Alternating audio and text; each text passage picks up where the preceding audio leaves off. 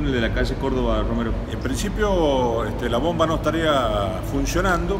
Este, hemos comunicado con el secretario de Gobierno, Walter Berarducci, quien se está comunicando con Boscarino, que es la secretaria de Obras, para que la provincia venga a hacerse cargo de esta situación, porque el, el puente todavía, el túnel todavía no está transferido al municipio, como tampoco está transferido el tema del semáforo, que han puesto un semáforo con un sistema distinto al nuestro, ahora se les ha roto el semáforo y no consiguen repuestos.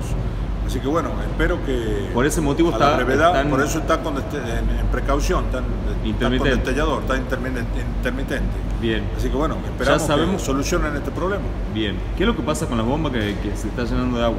Bueno, aparentemente no está funcionando la bomba. La bomba cada vez que hay un corte de energía eléctrica ha dejado de funcionar.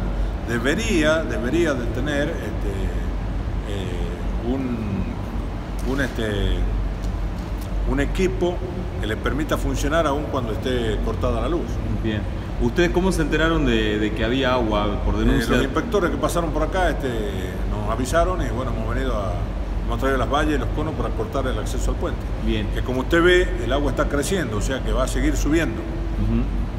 Así que bueno, esperemos que en el transcurso del día lo solucionen el problema. ¿Qué es lo que ha pasado? ¿Qué es lo que ha podido ver hasta el momento? Bueno, el día sábado se realizó el trabajo de mantenimiento de la limpieza del canal central. Ajá. Eh, son trabajos de rutina que se vienen realizando periódicamente, en donde bueno, se retira toda la basura o toda la tierra que se acumula. Bien. Entonces, bueno, esta situación ya están llegando la gente del CEPAPI a verificar qué es lo que está sucediendo actualmente, que está subiendo el nivel de agua. Bien. Ya ¿Qué- nada. pero ¿habrá tenido algo que ver con ese mantenimiento o no? Y bueno, Ajá. tendrán que revisarlo. Bien, el, eh, nosotros sacamos hoy una nota que el- el- los túneles están un poco en un estado medio de descuido o de pa- parecer abandono, por ejemplo, suciedad y cosas por el estilo. ¿A qué se debe? ¿Por qué se está demorando el traspaso a la municipalidad? Bueno, esta situación en realidad es un proceso que se viene realizando. Eh, tenemos actualmente, eh, la- el Tribunal de Cuentas autorizó eh, la compra de los tubos fluorescentes para el reemplazo de la luminaria. Estamos esperando que el Tribunal de Cuentas también autorice el acta de recepción Ujú. y ya en ese momento se le daría, recién en ese momento se podría dar entrega a la municipalidad. Bien. Mientras tanto, incluso ya está en el Tribunal de Cuentas, según me informaron, eh, ya para la aprobación eh, de un monitoreo de cámaras, Ajá. porque van a tener tanto el túnel de la Córdoba como el de la Mendoza, van a tener tres cámaras Sí. que va a ser monitoreado por el 911.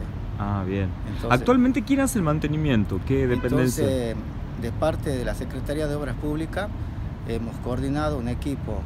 El CEPAPI realiza el mantenimiento de los túneles, de la limpieza de los canales, el Vialidad del grupo electrógeno y la DAO de la limpieza de, de los tubos fluorescentes y de todo lo que se refiere a la parte exterior y Eso. ¿por qué no está limpio en este momento? Por ejemplo, los tubos No. fluorescentes que se los ve como llenos de telas de araña y cosas por el Bueno, estilo. ese en el- ahora tienen que comenzar con ese trabajo eh, de la limpieza de los... ¿Y eso cada cuánto se hace? Y bueno, cada dos meses, tres meses, a medida que se va eh, poniendo la disponibilidad de la, de la gente que tiene también la, la DAO.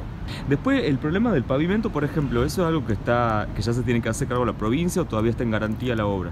Eh, se hizo un, un- un trabajo de bacheo de la capa superficial, entonces eso lo realizó Vialidad de la, de la provincia, al trabajo ese de la, Bien.